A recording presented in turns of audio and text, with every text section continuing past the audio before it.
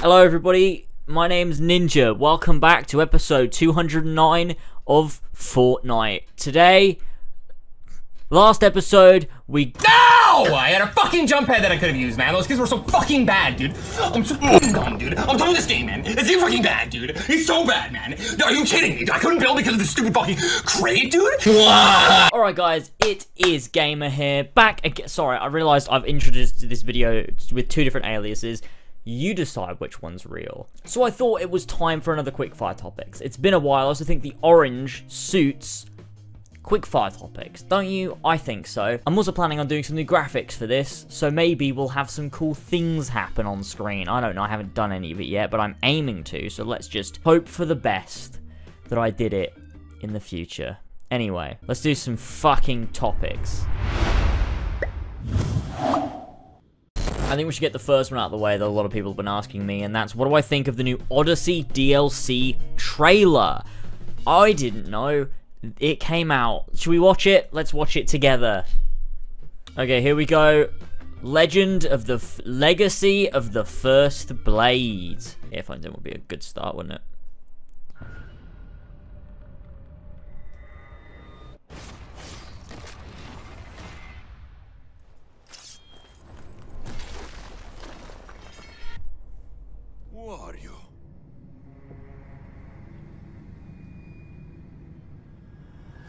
Whoa! Whoa!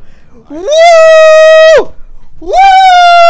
I was so sick, I don't even need to fucking watch anymore. I'm sorry. I'm so sorry to all of my neighbors. I just love Assassin's Creed!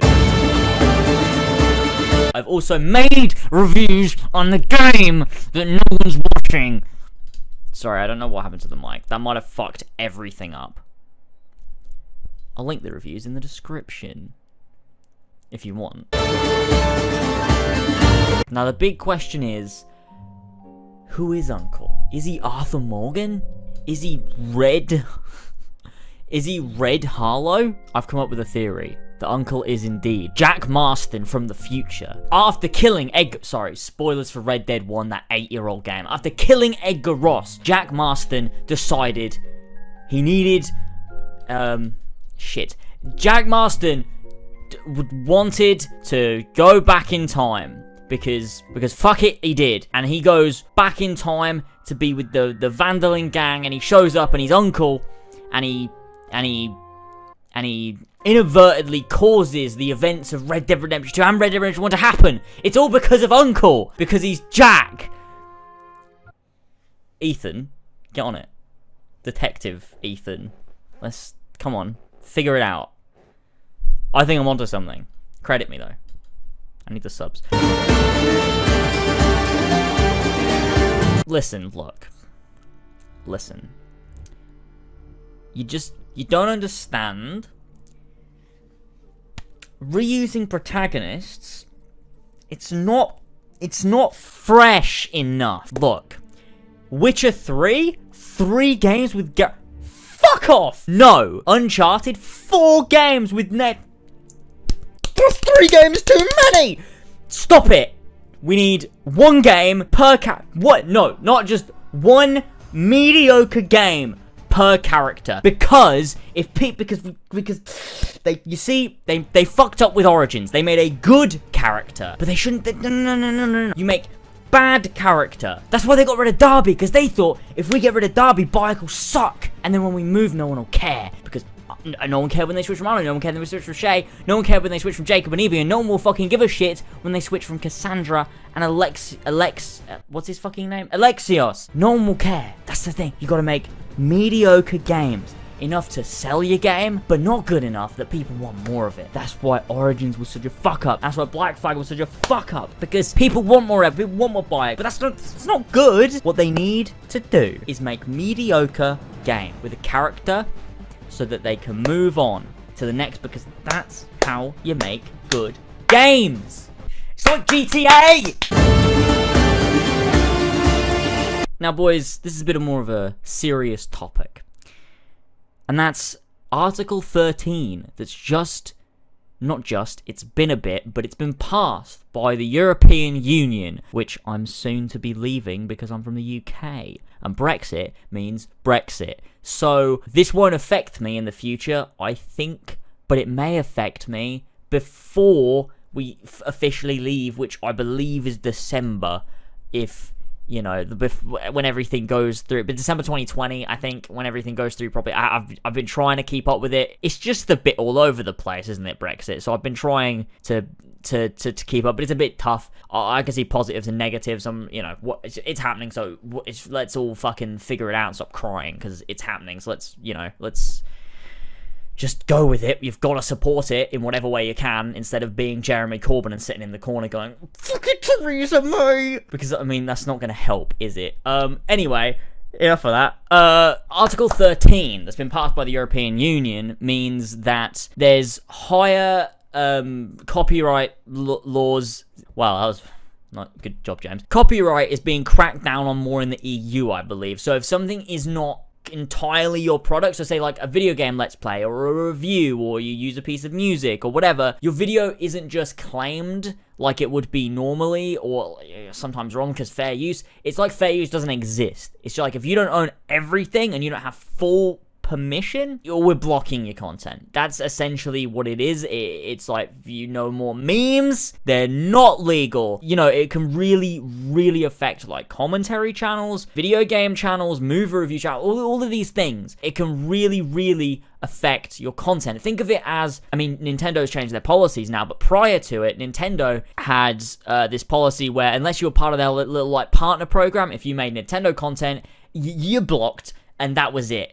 And that's pretty much what's going to happen to the entirety of the internet within the European Union because of Article 13. I'm pretty sure there's there's something that there's like changes that can be made uh, because overall it's not the, the principles of Article 13 aren't negative, but the wording of it and the way that it's written, the way that, that, that it can be enforced, means that it can be manipulated. So it's not inherently bad, and it doesn't mean that the European Union is out to block all of the YouTube memes. That's not what they're doing. The way that it's worded, the way that it's written, means it can be manipulated to be harmful to content creators. Uh, like I said, being leave like Brexit means that I mean it's not going to affect me if it does for too long.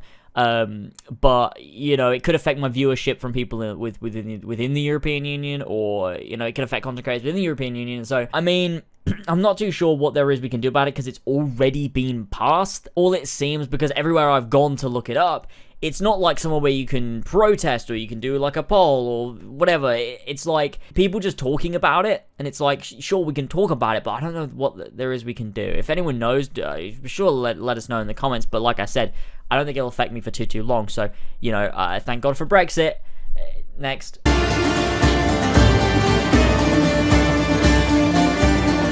Battlefront 2, I know I made a video saying it's not bad.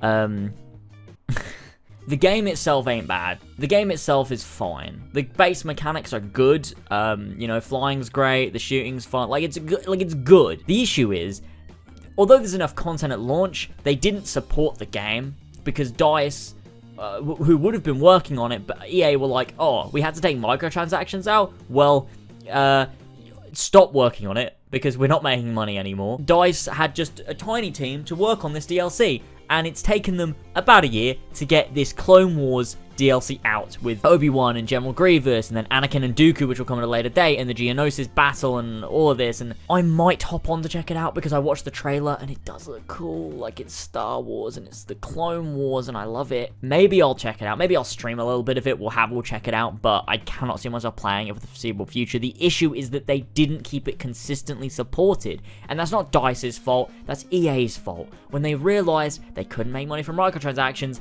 they just fucked it off because that's what they do. And that's the same thing Ubisoft does with like the Division 1. It was was not heavily but like the only the only times that Ubisoft have been successful with their multiplayer endeavors is with Rainbow Six Siege because they bothered to continue supporting it post launch.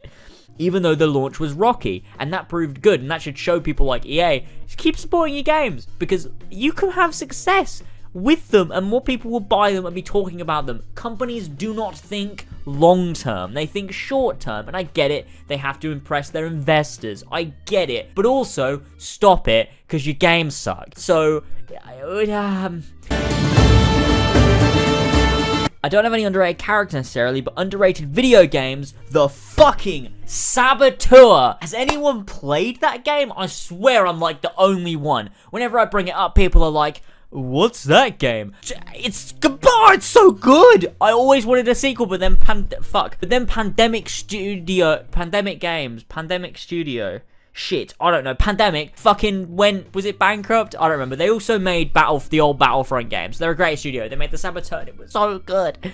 I might stream it one day. I love it. It's so fun. Let me sell it to you because you could go buy it probably. Open world, World War II, Paris, that's been like, it's like under Nazi occupation and each district is controlled by Nazi territories. Think of it, and you have to sort of free each territory by helping the resistance in Paris. You play as this character called Sean Devlin. He's fucking great. What a great character. I love him. He's funny. He's witty. He's not a dickhead. He's great. All the characters are interesting. You can, you know, you have the freedom of like Grand Theft Auto to go like steal cars, you know, just punch NPCs. If you if you if you're feeling like it and you feel like you want the Nazis to come chasing you, and you don't feel bad because the police in this game are just the Nazis. So it's like if I go on a rampage and I'm killing all these police, they're just fucking Nazis. So it's fine. I'm not killing innocent police officers. They're just they're, they're horrible Nazis. So it's it's fine.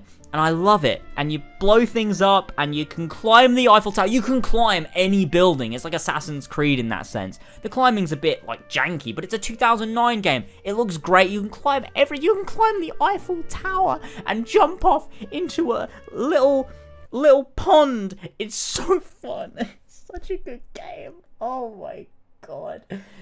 Seriously, it's so good. I would recommend it to anybody. It is such a good game. I really want to play it right now. I'm, I'm gonna have to stream it. I'm gonna have to stream it one day. Just from start to finish. Or do a series. Oh, I love it. Oh my god. I have to. I've got to do it. Okay, back on track. I'm the sa Oh, Saboteur is so I'm gonna I'm gonna have to stream it one day.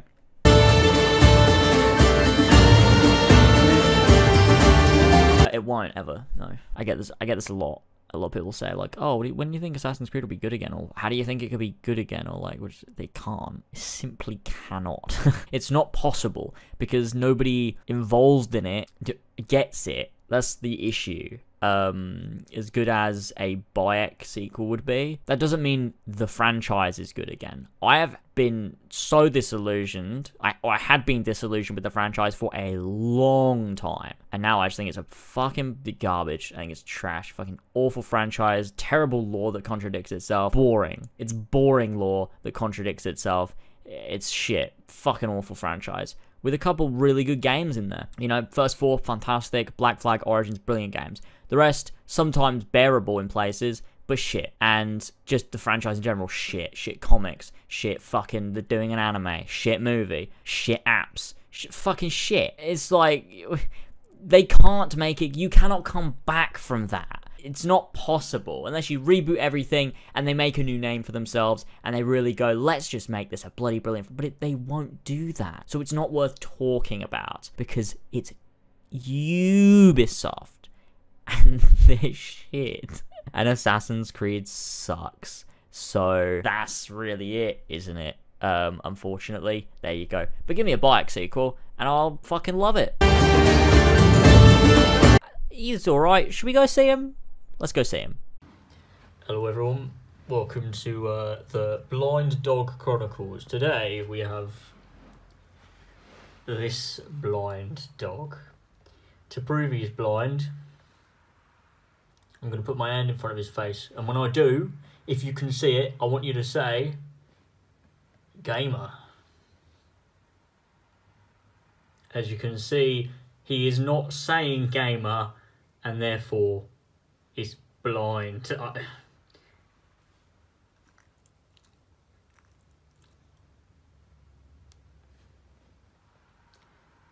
Facts.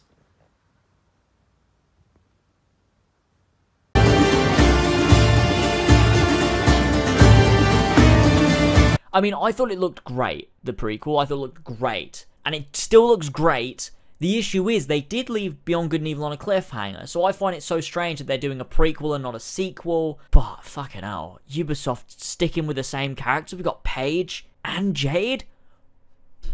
How?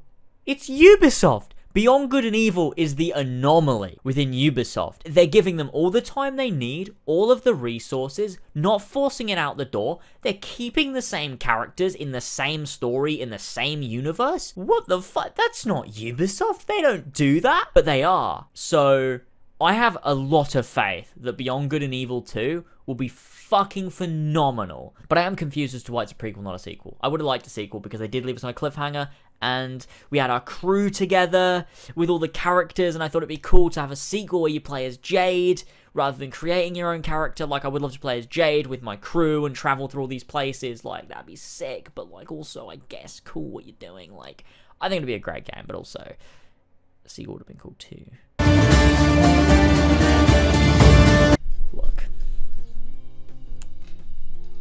diversity. In Assassin's Creed Odyssey, we get to play as a male or a female epic Spartan warrior. In Red Dead, we play as a white male. Sorry, that's difficult to say because it's disgusting. White male with all of his white male friends. They have one black friend. One black friend. All the women are fucking prostitutes. It's disgusting. Disgusting display of diversity. I'm not having it. I will not let the patriarchy win. Odyssey, it just, you get to be a badass female Spartan. You get to fucking kill all these men that are being fucking pricks. You get to kill them all. How are they being pricks? Well, they're men. Of course they are. Red Dead, you see, it plays to the male fantasy. Odyssey is so diverse and inclusive. Who cares that the story sucks? Who cares that the characters suck? Who cares that the gameplay is an unbalanced mess? You get to play as a woman in a man's role! It's better! She is my queen, she's the best character, and it's so good, it's so good! And that is the only thing, you see, although Red Dead does everything else better. Story, characters, world, gameplay, immersion, balancing, everything, does everything better, doesn't have diversity. And you know what? The only thing that counts in media is diversity. And that's why Odyssey is Game of the Year! now, if you'll all excuse me, I'm gonna go and play the Saboteur to kill some Nazis. Goodbye.